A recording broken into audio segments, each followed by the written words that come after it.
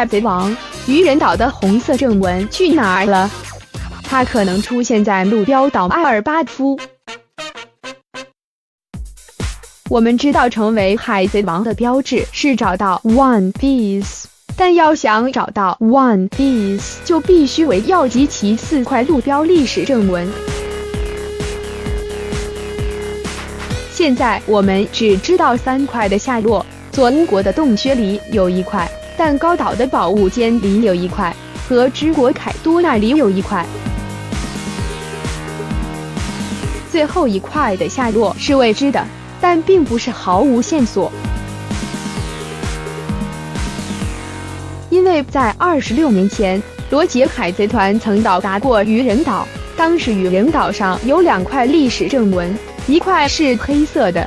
记载了乔基博伊的道歉书，另一块就是红色的路标历史正文，出现在漫画九百六十七话。等动画进入玉田船部分就会讲到。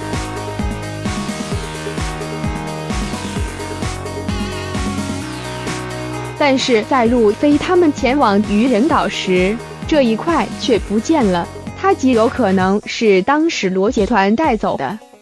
它的去向有四种说法，每一种都建立在罗杰带走路标的前提下。一，世界政府，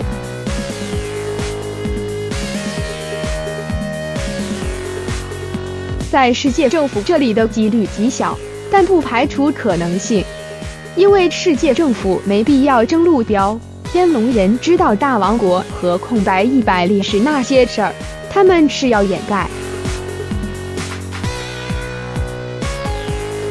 关于拉夫德鲁，说法最多的就是他是大王国的旧址，历史正文记载的也是大王国的辉煌和真实的历史。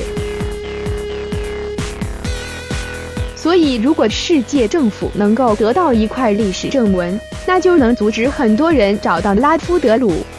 因此，四皇们这么强大，但没有一个人能成为海贼王，就是因为他们找不到前往拉夫德鲁的路。二，艾尔巴夫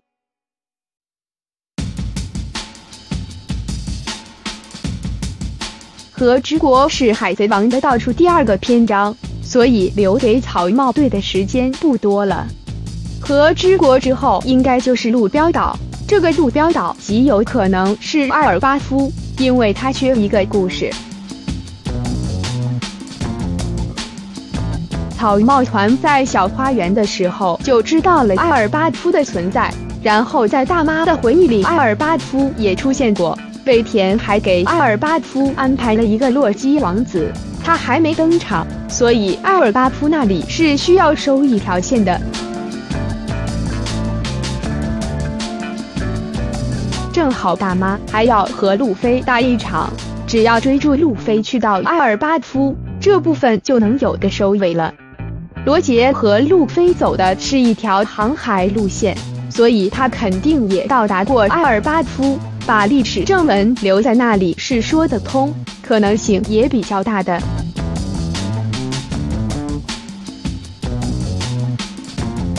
三，红发。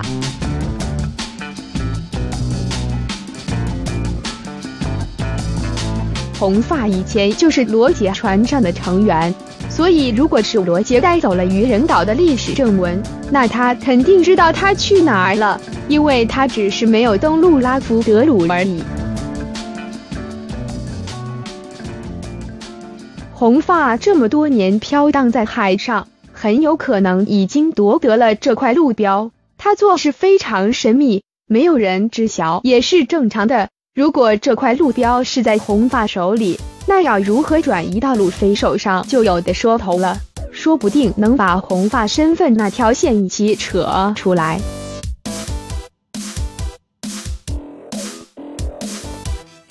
四，黑胡子。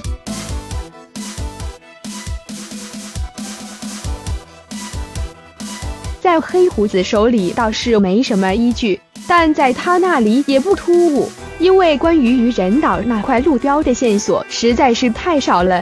放在任何第一个地方都是有可能的。而黑胡子又野心勃勃，肯定会寻找路标，所以落到他手上也是合理的。以上就是本次的全部内容。你觉得愚人岛那块历史正文会在哪里呢？欢迎在下方评论留言。你喜欢这个视频吗？希望你能有一些放松和娱乐的时刻。立刻分享出去，让更多人知道吧，并且不要忘了留下一个喜欢，订阅我。再见。